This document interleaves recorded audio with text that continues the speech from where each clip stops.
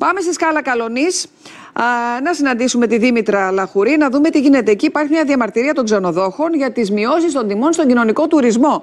Δήμητρα, τι συμβαίνει, καλησπέρα.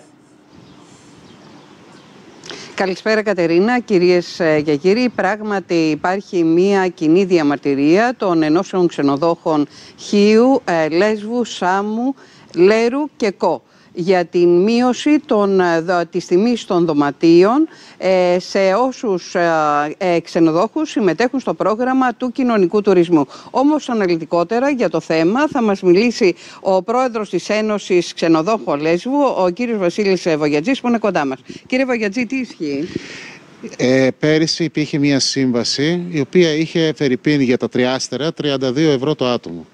Αυτή τη στιγμή οριζόντια έχει γίνει μία μείωση τιμών περί το 8% και εκεί πέρα δηλαδή με όλες τις ακρίβειες που, με όλη την ακρίβεια που αντιμετωπίζουμε περιμένουμε μία μικρή αύξηση δυστυχώς δυστυχώς ε, περιμένουμε μία, είδαμε μία μείωση.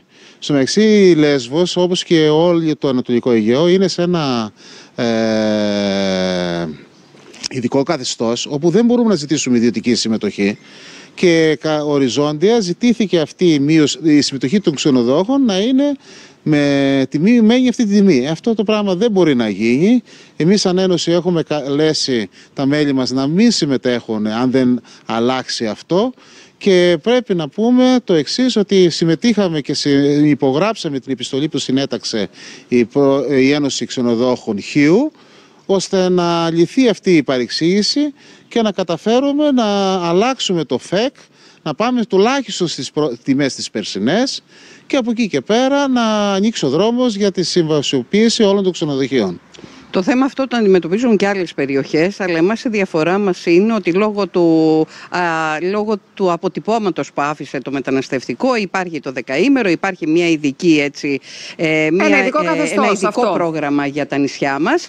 Ακριβώς, ένα ειδικό καθεστώς και άρα εσείς σε αντίθεση με άλλες περιοχές δεν μπορείτε να έχετε σε, στην τιμή ας πούμε ιδιωτική συμμετοχή. Αυτό ακριβώς είναι το πρόβλημα από τη στιγμή που δεν υπάρχει το, το προνόμιο της ε, ιδιωτικής συμμετοχής και έχουμε αντιμετωπιστεί με μια δεκαήμερη παραμονή των ε, ταξιδιωτών στα ξενοδοχεία μας, Μάλιστα. εμείς αυτό που θέλουμε είναι απλά να γίνει συμφέρουσα, να μην είναι ασύμφορη για τα ξενοδοχεία που παρέχουν την ε, διαμονή. Το καταλαβαίνουμε το πρόβλημα, Δήμητρα και ειδικότερα η Λέσβος και η Χίος αντιμετωπίσαμε σοβαρά προβλήματα. Τα τελευταία δέκα χρόνια έχουμε αντιμετωπίσει τέσσερις κρίσεις. Mm -hmm. Και, και γι' αυτό υπήρξε αυτό και το ειδικό καθεστώς, ε, αλλά καταλαβαίνουμε τι είναι αυτό που λέτε τώρα με την τιμή.